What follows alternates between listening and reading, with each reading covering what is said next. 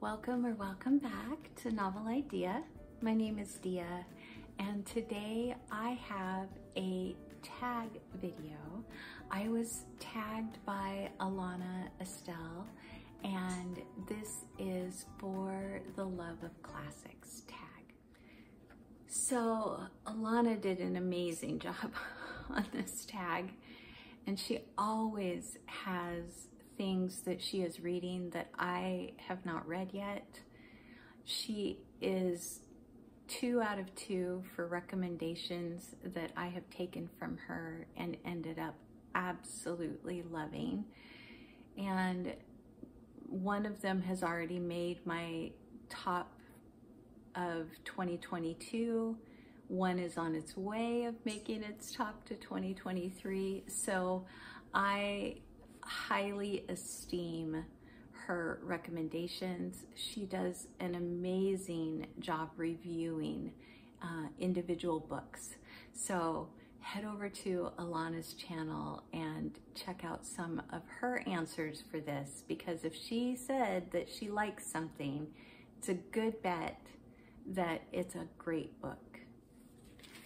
Okay, so I have my questions and I am going to be shooting off the cuff a little bit. I'm pretty sure I have some answers for some of these kind of already percolating, but there might be a couple that I have to think about a little bit because I didn't write anything down for answers and I didn't go surfing my shelves to pull books off. In fact, most of these I probably don't even own.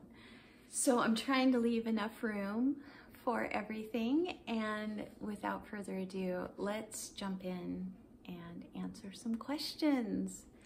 Uh, I do not know who the original creator of this tag was. I went looking for it, but I couldn't find it. Not in the person that tagged Alana, not in the person that she said she saw it from. So if you created this tag and you are watching, please let me know and I will give you credit. Um, so the first question is, why do you read classics and how often do you read them? So I read classics, number one, because I feel like I kind of know what to expect from them. Um, modern day material is much more free with its grading on my sensibilities than uh, the classics are. And so that's one of the reasons. But the main reason why I read classics is because I learn so much. I learn language. I learn cadence of speech. I learn history. I learn about etiquette and manners and dress codes and all of that kind of thing. And it all fascinates me. And so that is probably the main reason why I read classics and love them so much. The as far as how often I read them, I read I have one on the go almost all the time. It's seldom that I am not reading a fantasy slash sci-fi, uh, a classic, a middle grade, a nonfiction. Those four are kind of my categories that I stick to, and I try to have at least one of them on the go. Sometimes I switch out a middle grade for like a cozy mystery, but for the most part, those are my genres that I, and categories that I stick to. So at least at least one a month and more than likely it's it's probably more than that. Question two. What period, country, or culture have you not read many classics from but would like to? I don't think I've read very many Italian uh, settings. I've read quite a few Spanish, quite a few French, uh, quite a few Greek and Roman. Um, and then of course English. And so I would say maybe Italian, Byzantine. I love ancients. And so if I can get things that are set in Byzantium and like Constantinople and those kinds of settings, I really love that time period. The next question, question number three, is what modern book do you think will be a classic in a hundred years time?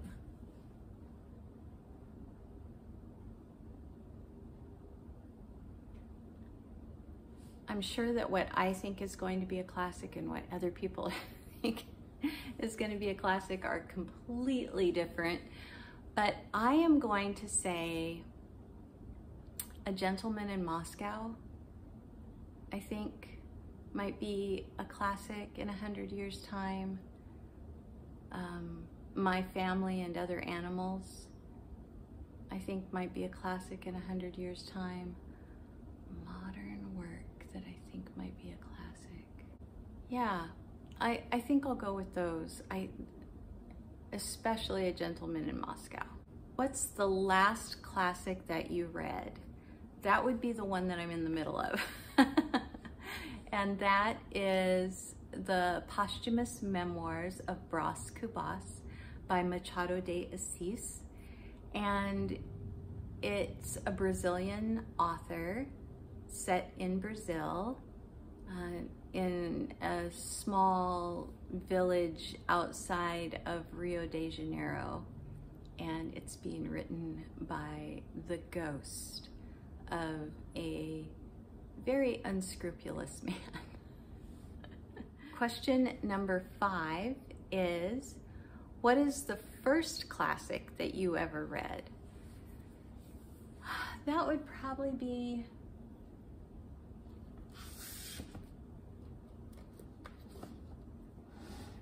maybe Witch of Blackbird Pond. That might be one of the first that I read. Um, and we're talking me reading it, not somebody reading it to me. Uh, it might be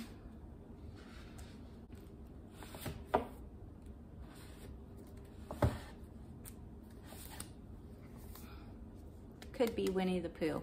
I also would say possibly Rudyard Kipling's Just So stories or maybe The Secret Garden, which I have up there.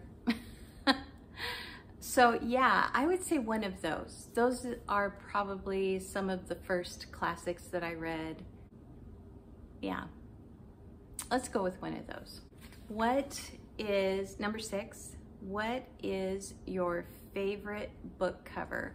I'm gonna put it up here because I don't actually own my favorite version of this, but it's a Jane Eyre cover. There's actually two that I just really love because they kind of give that gothic feel that a lot of covers do not give.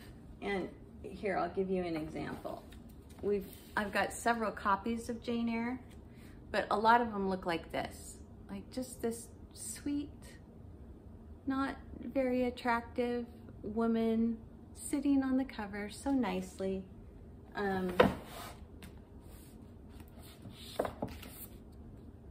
or, you know, that doesn't, yeah.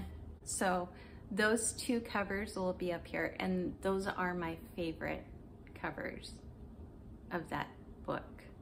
Number seven is what classic authors do you wish had written more books?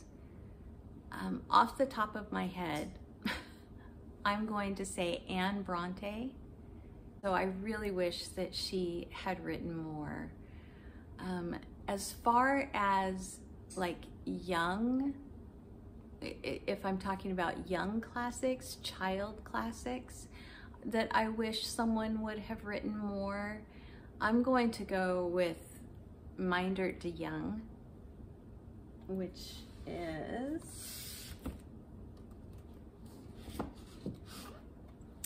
the author of Wheel on the School.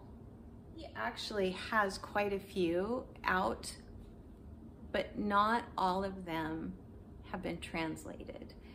And I absolutely love, I love, love that story.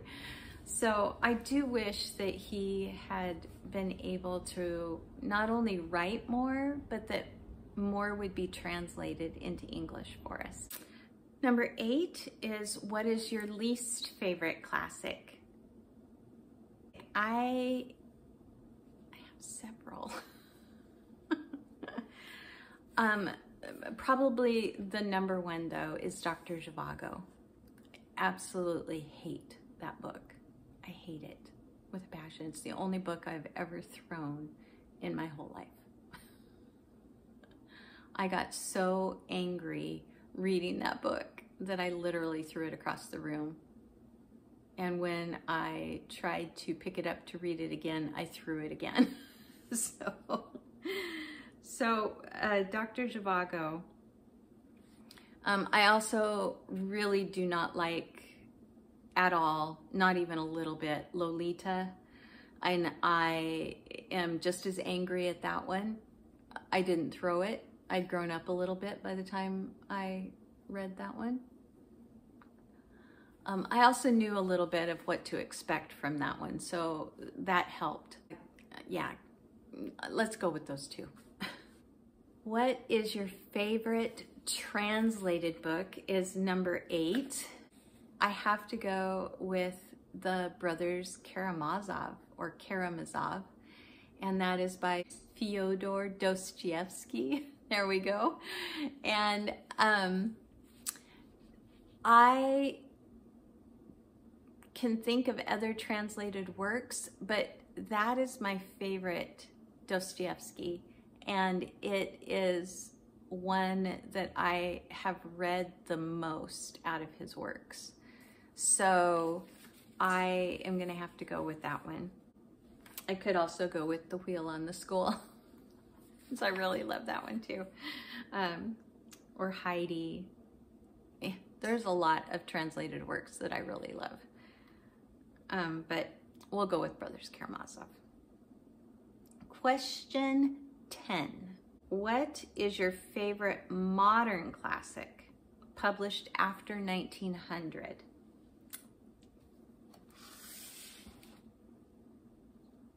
Another one that I could have gone with favorite translated is The Little Prince by Antoine de Saint-Exupéry. I even love saying his name. The Little Prince.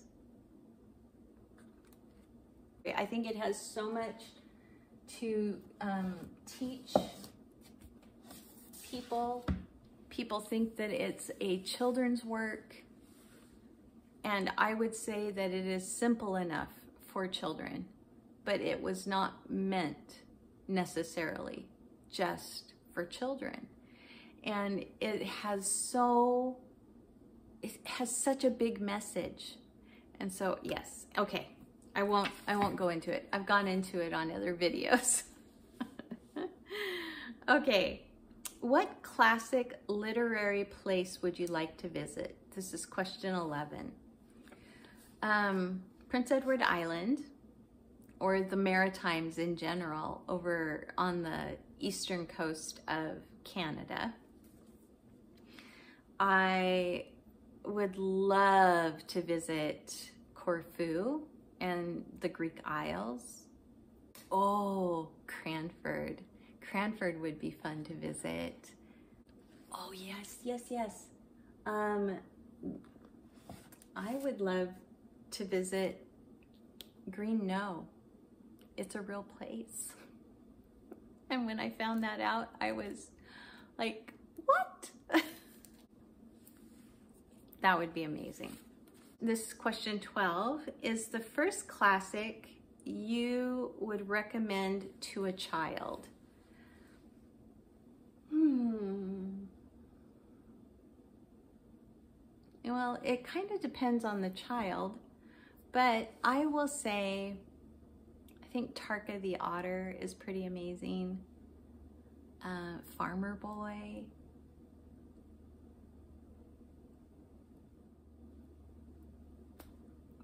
There are so many. Number 13, what classics do you think are mistitled? And what would you rename them?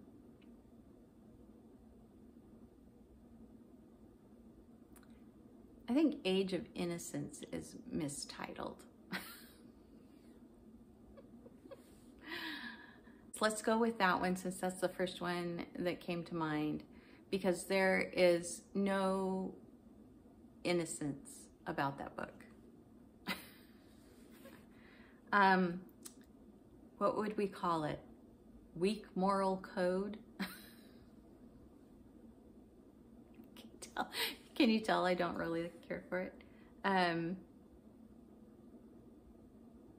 total disregard for virtue. That's a, that's a good title. Total disregard for virtue. Total disregard of virtue. Let's go with that. and finally, question 14. What is your favorite classic that you'd like to recommend to everyone? One of my favorite classics that I would probably recommend Nicholas Nickleby. Yeah, I think I would probably recommend Charles Dickens' Nicholas Nickleby. I really love that story. And I think it has a little something for everyone to be able to latch onto. It's slightly humorous. It has, um, you know, danger and adventure and family love and family dysfunction and all of that. And it's just wonderful. So I would recommend that one. Okay, that is everything. I need to tag some people. Um, I'm going to tag people that I know read classics and that I haven't seen do this. I don't know how old this tag is, so if I tag you and you've already done it, please forgive me. Um, I am going to tag Kelly from Kelli Reads a Lot, Courtney at Courtney Reads, Tiffany at Beautiful Minutiae, Stephanie at Miss Richards Reads. That's who I'm going to tag. those four. We'll go with those four. Um, yeah. So thank you so much again, Alana, for tagging me. I really appreciate it. Like I said, if you guys have not subscribed to Alana's channel, if you don't watch her individual reviews, she has got sass. She has some serious attitude about things. She does not hold back. It's wonderful. I just love listening to her reviews, besides the fact that they are very well put together. I just really appreciate her. And I hope the people that I have tagged have not done this yet and would like to. All right, everyone, thanks for joining me.